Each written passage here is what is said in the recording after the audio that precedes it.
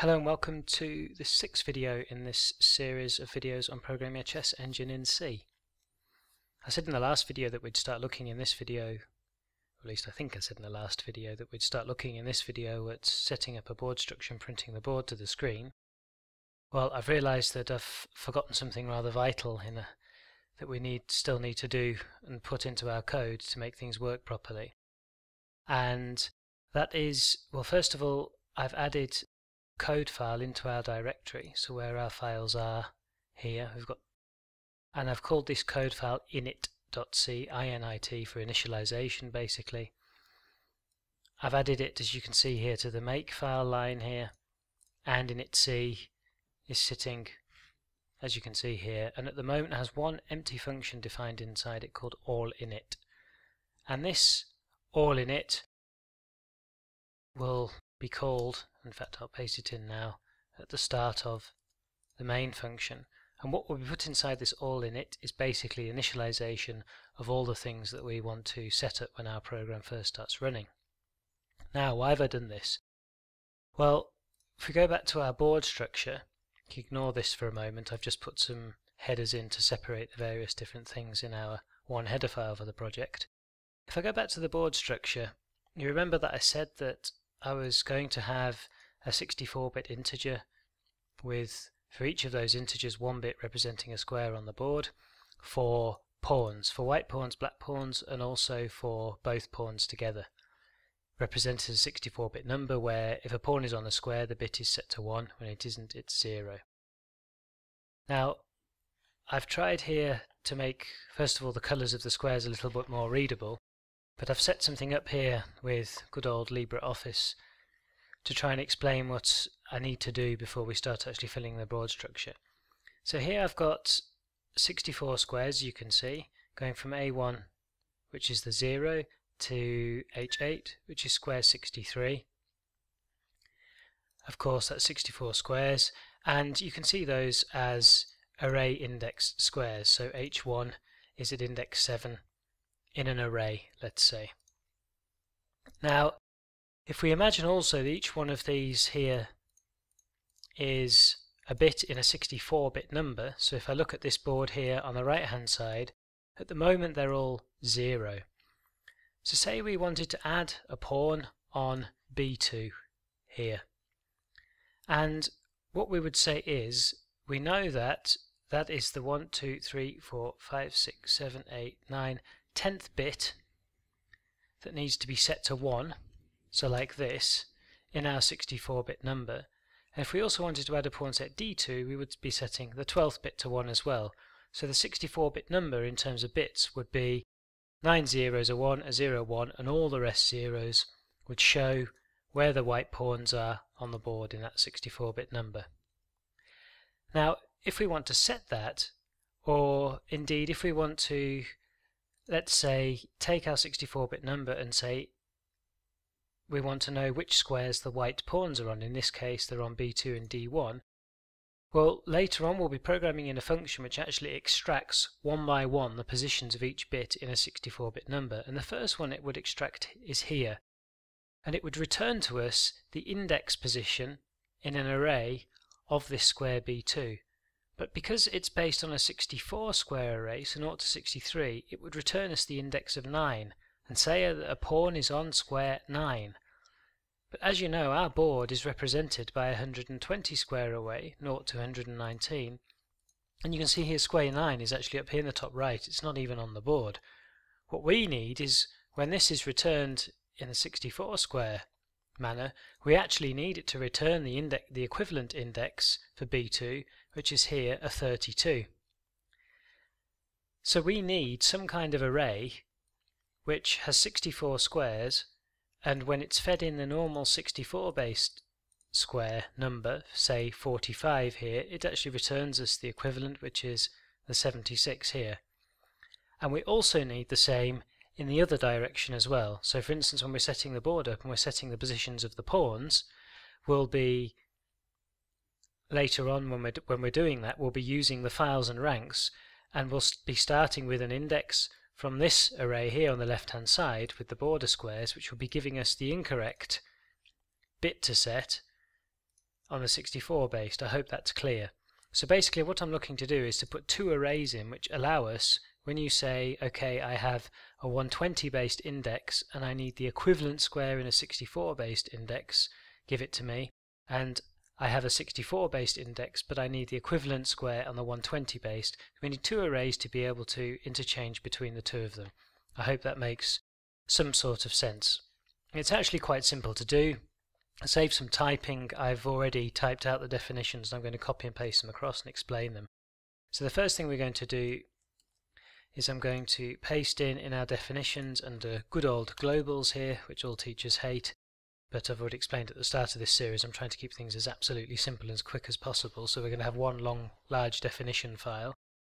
And with the external keyword, because they'll be accessed everywhere, I've got an array called square 120 to 64 with our constant of 120 squares here. So this is the one that will be given an index from 0 to 119 but it will always be from 21 to 98. We'll be putting some checks in for that later on into the program and will return us the equivalent index on a 64 base board. So for example, just to reiterate, square B2 we would submit 32 and we would say at position 32 in that array it would return the value 9 for us.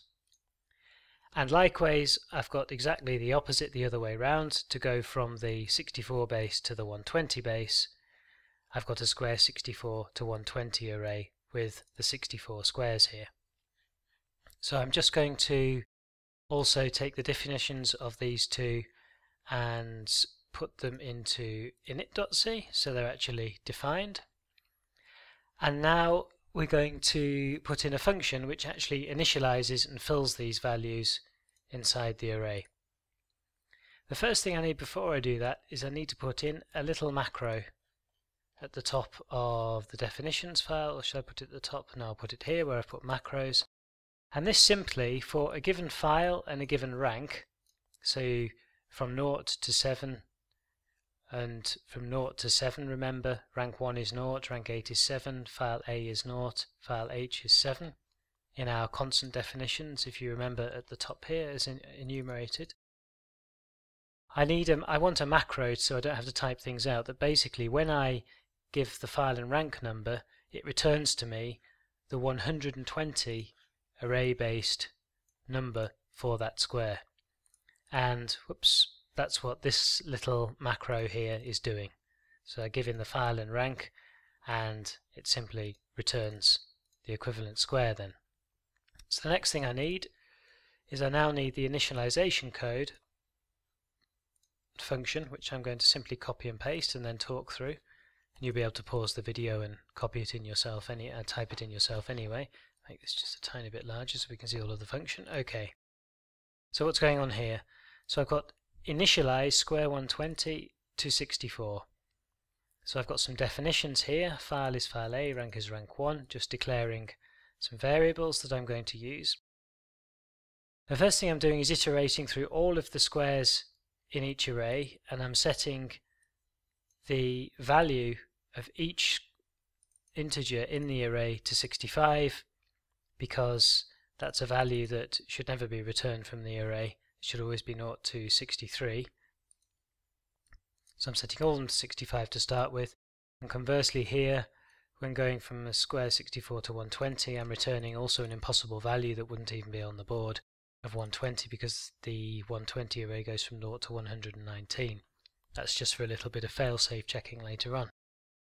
And now I've got two loops here, one nested inside the other, where I basically say, starting at the first rank, increasing the rank by one and each and for each rank I start at file A and go up to file H and increase so going back to our board I start here and increase file by file the loop ends the rank increases and increase file by file so it's fairly self-explanatory so I do it in this manner. It's basically stepping through each of the indexes. I get the square using our file rank to square macro sending in the file and rank. And now I set the 64 to square 120 at the index of square 64, which I'll come in come to in a minute, gives the value of our current square, and square 120 to square 64 at our current square is set to square 64 and square 64 is incremented. So that should all be fairly clear. The only thing that might not be clear is what square 64 is doing. Well, it's cheating a little bit. You can see I've explained from the way these two loops work here that I'm stepping through in order of the indexes in the array 0, 1, 2, 3, 4, 5, 6, 7, 8, 9 which means if I set a variable called square 64 to 0 here and increment it on each loop it'll be representing the 64 based index array for that square. So I don't need to do any working out with the file or rank or anything like that. I just increment it by 1 each time and then use that value here. And if you remember, 64 to 120 takes in a 0 to 63 index value and returns the 0 to 119. That's why at the position of square 64 in the array, it's being set, its value that it returns is square, and vice versa with this array here. Okay, I'm going to stop trying to explain that now. Hopefully that's clear. If it's not, go through it a couple of times or just write it out by hand on, hand on paper because during the time of programming a chess engine, unfortunately, you end up with a lot of things that can end up making you scratch your head in a little bit of frustration trying to understand which index belongs in which array, etc., etc., and is often the cause of very bad and horrible bugs. Good, so now that function's written, all we need to do is actually call this initialization function. So we'll put it into our all init so that we can guarantee, because all init is being called from main, that it'll be called. And now we need to put these two functions inside defs.h, sorry, just one of them, just the all init, inside defs.h so that main is able to find the code for it and call it. I think that's all we need to do. Now one more thing we'll do, which I think I prepared down here. Yes, I'm going to put into main, just for now, a couple of loops which will print the arrays that we've now filled to the screen just so you can see what happened. So I'll leave that for a couple of seconds here so you can pause the video and see what the code is, but it should be very self-explanatory. Note the use of the modulo operator here. And here I'm just using in the printf a width specifier to print each number within 5 character width so things are spaced a bit nicely. And now I'll call up the console and hopefully if I run make it'll compile and of course it doesn't compile. And it says index is not declared of course it isn't so it index equals not I've done this on the fly so we might have a couple of errors here. Make again okay seems to have compiled. So now I can run vice. And we've got our two arrays printed. So you can see here the first array is the 120 square array. And inside the 120 square array here you can see it's returning 0 to 63 when we submit an on the board square to that array. And here you can see in the 64 square array when we submit a 0 to 63 it returns the equivalent square position on the 0 to 119 array. So everything looks fine and dandy there and we're ready hopefully in the next video unless something else comes across my mind before I start doing it to actually print a board, set up and print a board to the screen. Thanks very much for listening. Comments, questions, criticisms welcome as always on YouTube.